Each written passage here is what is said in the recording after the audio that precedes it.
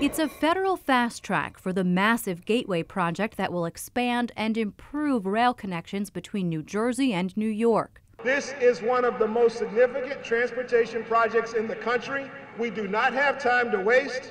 We have to get this done, or else we're going to lose a lot of capacity on the Northeast Corridor. The $24 billion proposal will construct a new tunnel under the Hudson River. The transportation project rose out of the ashes of the canceled ARC tunnel, and today, leaders from both states announced they've secured several sources of funding to supplement a pathway already at capacity and made more vulnerable after Superstorm Sandy. This summer, I announced that the department had officially placed the Gateway Tunnel project in the New Starts pipeline.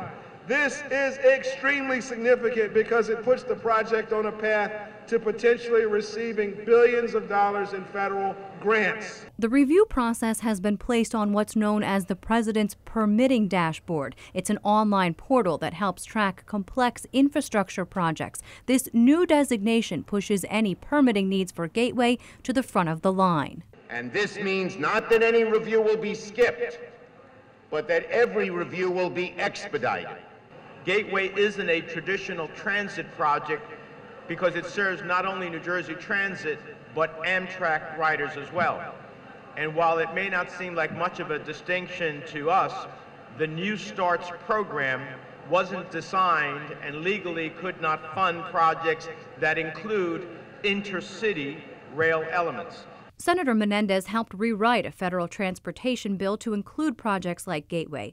Amtrak, New Jersey Transit, the Port Authority of New York and New Jersey, the federal government, and lawmakers have all said they're on board to get the project through, announcing $235 million to complete the first phase of construction, the Hudson Yards concrete casing project, and 55 million to replace the Portal Bridge over the Hackensack River. The Portal Bridge, many people don't realize that's the choke point, not just causing causing delays in this region, but really up and down the Northeast corridor from Boston to Washington, D.C.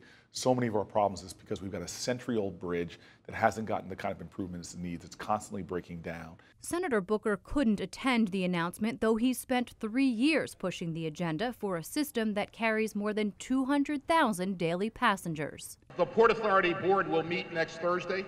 Uh, I expect that actions will be taken at that board meeting with respect to Gateway that have the full-throated endorsement of both Governor Cuomo of New York and Governor Christie of New Jersey. We're not looking at it as if it's some future project that's absolutely necessary and we need to do it.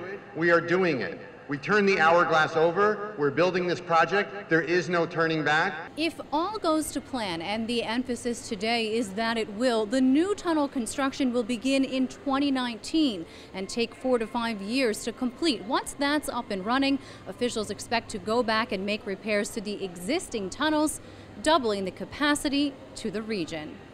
In New York Penn Station, Briana Vannozzi, NJTV News.